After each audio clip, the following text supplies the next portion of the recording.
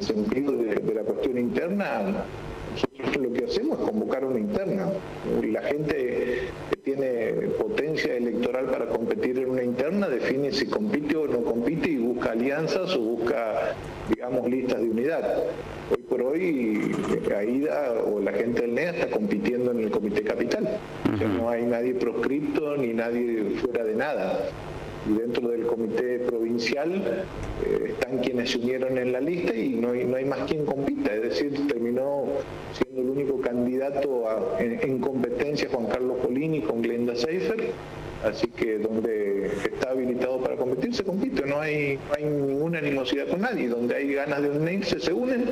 Y en eso estamos y sigue habiendo uniones. Si hay gente que sea potable o no potable, la definición la da la gente con el voto y dentro de, la interna partidaria cualquiera se podía anotar a competir.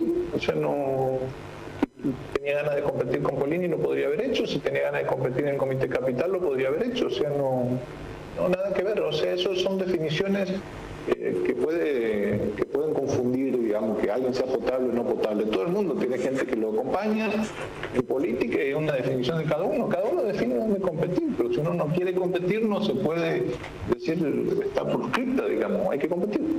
Creo que los chaqueños estén preocupados por los problemas nuestros, por los problemas internos o por las subjetividades que tenga cada dirigente.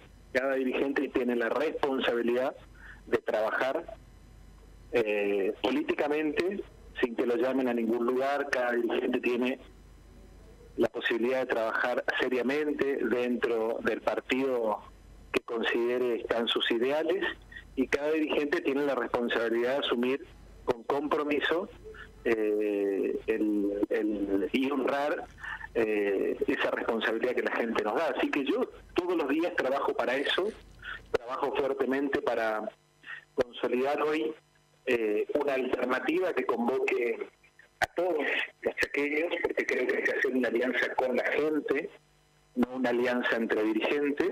Yo quiero que generemos una, una alternativa para que los chaqueños vivan mejor y cada vez que se generó una alternativa alternancia. Entonces hay que trabajar seriamente.